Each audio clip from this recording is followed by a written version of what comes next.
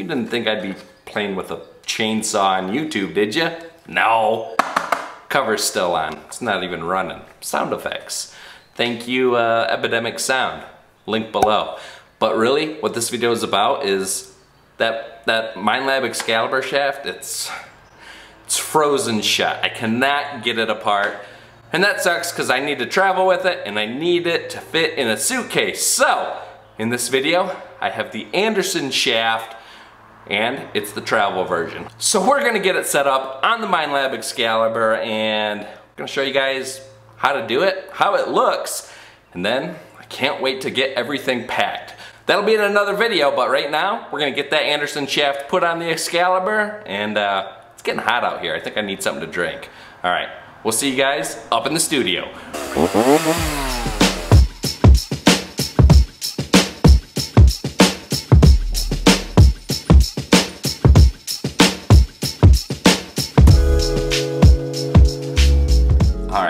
You enjoyed that fun little intro, but we're gonna get into it. I'm gonna give you basically a step-by-step -step guide on how to assemble your over-under Anderson travel shaft. So hopefully you guys find this helpful. Let's get into it. So here it is the Anderson over-under travel shaft looking good. Of course, we have the under section where you're going to be attaching the housing unit for the Excalibur. Comes in at just 20 inches. As far as the middle rod goes, of course, you have your different pilot holes. You can adjust to whatever your height is. And again, this comes in at 20 inches, makes it super portable and you have your little tightening screw once you insert that rod into the upper portion. Now for me, I had to get the lower extension rod as well. This is the 24 inch. Now the head adds an extra four inches, just so you guys know if you are gonna be traveling. Now when we get this set up, you're gonna wanna back out all of these screws because you don't want to insert that rod and end up just scraping it or of course not having it fit. Double check with your finger, give it a little inspection. And once it's backed out, just go ahead, push the pins down, and we're gonna go ahead, pop it in.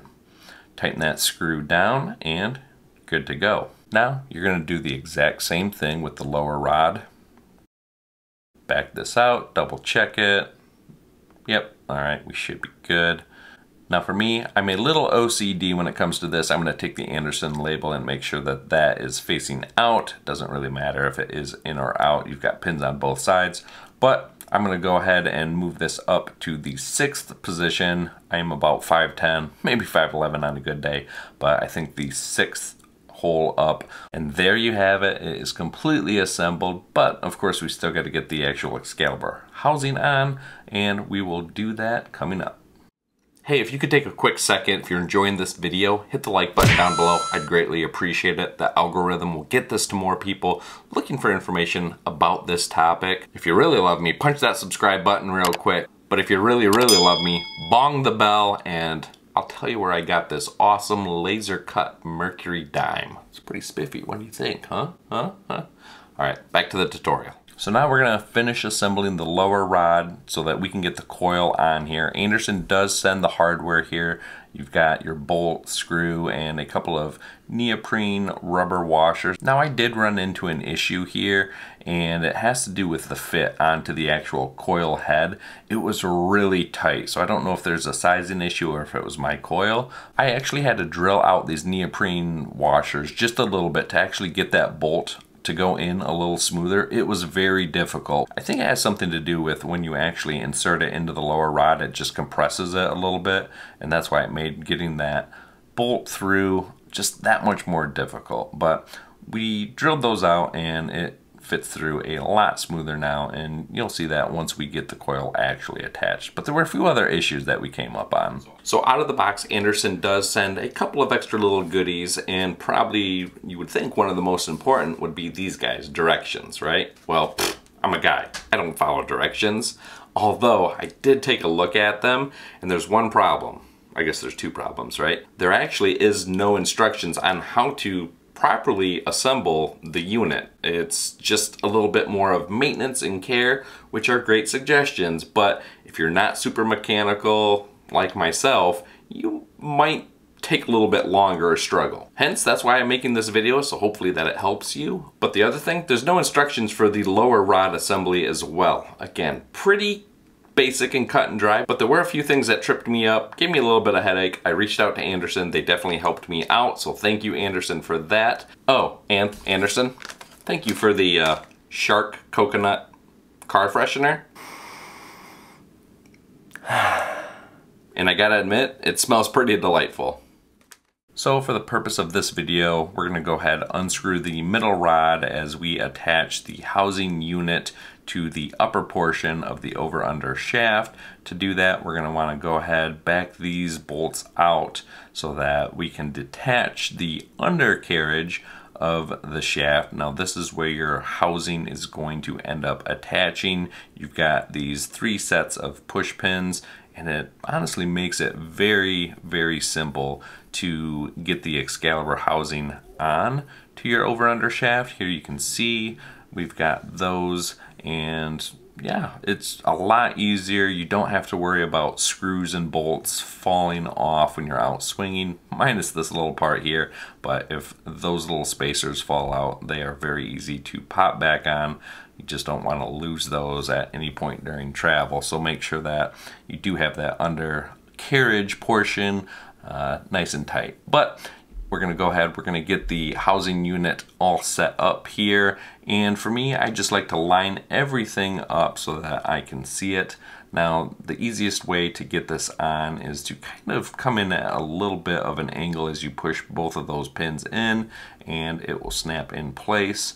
Now, the second part of this was a little bit tricky. Uh, it's almost like I need five other sets of hands to do. But again, if you come in kind of at an angle and do one first and then push the other portion down, everything should snap into place for you.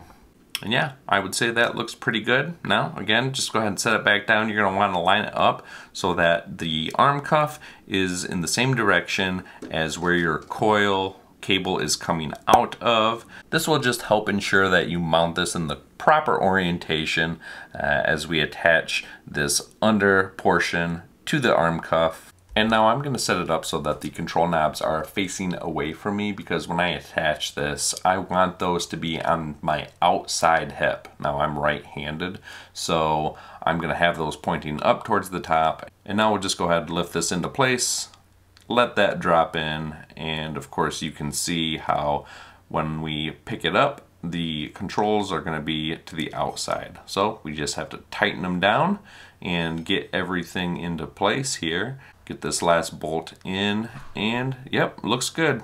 And we should have the upper portion of the Anderson shaft complete.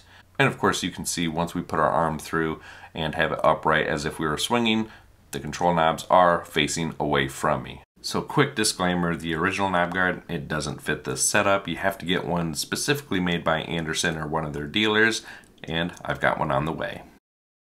Alright, so moving on to the coil, here's where I had an issue.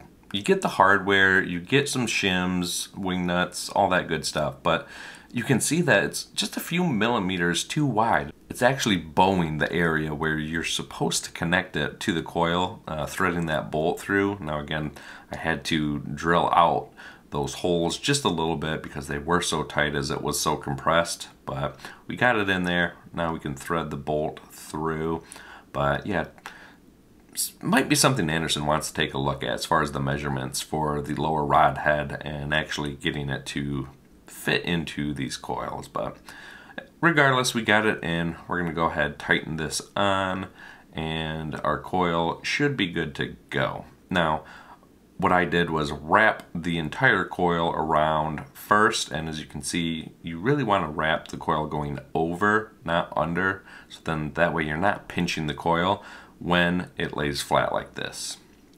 And finally, we're gonna go ahead, we're gonna just tighten everything up. We've got these nice little Velcro straps. I bought these on Amazon. These are six inch straps and they work wonderful. Just keep everything nice and orderly. I love good cable management, but links below if you guys are looking for these just to add to any detector really that you have. All right, let's check it out. Here it is, the final product. Let me know what you guys think down in the comments below. I would greatly appreciate your thoughts. And if you think I missed anything, I'm always open to suggestions, but yeah, I think everything's looking good. The cable management's there. The knobs are pointing out away from the shaft, so they're not gonna bump into my hips as I'm swinging. And of course, we've got it tightened down, cinched up, yeah, we're ready to swing. Well, there you have it, the complete assembly for the Anderson shaft for the Minelab Excalibur 2. I hope you enjoyed it, and if you haven't had a chance, check out this video right here about the CKG Scoop and my upcoming trip down to the Bahamas. Until next time, keep swinging for the ring.